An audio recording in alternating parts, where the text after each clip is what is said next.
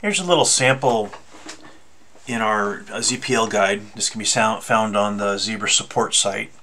The ZPL code, Zebra Programming Language, it's a nice little example of variable fields. So if you look here um, in the code, everything that's in here and in here is what generates this label.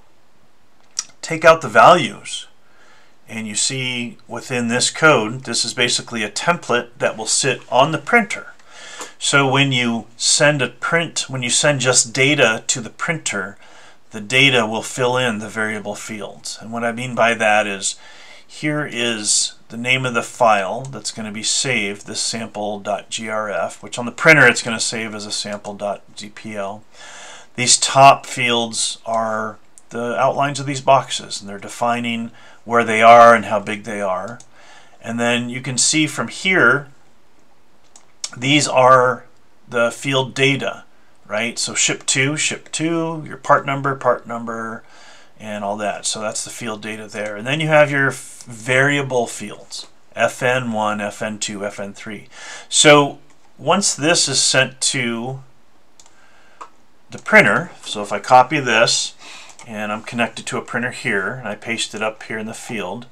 Um, we see that it this will go down to the printer and get saved. But what I'm going to do is I'm going to make it save on the E drive so let's go here.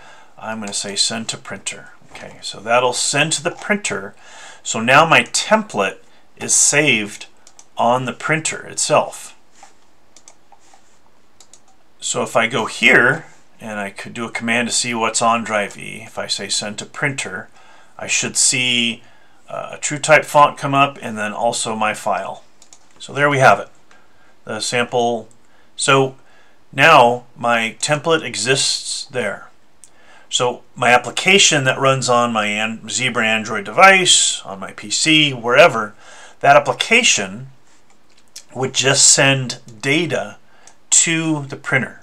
So you're not sending all the complete information, you're just sending a small portion that's going to say, call this template and put in this information. And the template can be however you do. It doesn't have to be 4 by 6 it can be 1 by 2 it can be whatever you want. And it can have some customizable things in it if you want. But so right now you see here, FN1 is my field one, this ship 2, right? Ship to Acme Printing. I want Acme Printing. So we're going to take this, we're going to copy it, and we're going to put it in our, um, this is the Zebra Setup utility, and just we're going to send this ZPL data over to our printer. And what prints is exactly what the demo shows, right? Max Fabrication, Acme Printing. So realistically in an application, let's say I just want to change some of the data, my application, the data changes. just do an example of that. Making sure I am accessing it on E. And then I'm just going to change the ship to and then just some of the descriptions.